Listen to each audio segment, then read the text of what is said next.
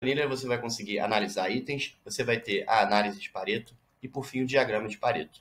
Como essa é uma planilha 4.0, a gente tem a navegação das abas aqui por, esse, por esses botões aqui no menu superior e as subabas aqui por esses botões inferiores. Aqui a gente vai ter uma abinha de instruções pra, com o passo a passo para você utilizar a planilha, aqui de dúvidas frequentes, sugestões sobre a luz.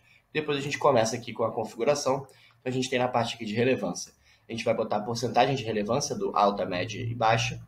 Depois a gente vai ter aqui um campo para colocar os itens analisados. Então, aqui a gente vai colocar, você vai escrever aqui o que, que vai ser analisado. A gente vai ter o um indicador monetário ou numérico. A gente vai botar aqui qual item que está sendo analisado. Você vai escrever aqui e o indicador. E ele vai gerar aqui a porcentagem do total para você. Depois a gente passa aqui para análise de Pareto. Então, a gente vai ter aqui por classificação né, de Pareto. Então, a gente vai ter alta, média e baixa a porcentagem acumulada, a porcentagem do total, o indicador e o item analisado aqui organizado por essa ordem aqui da classificação.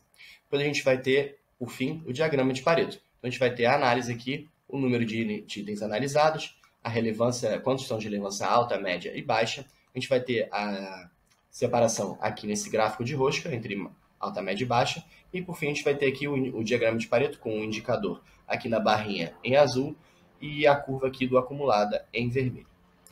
Chegamos ao final dessa planilha. Muito obrigado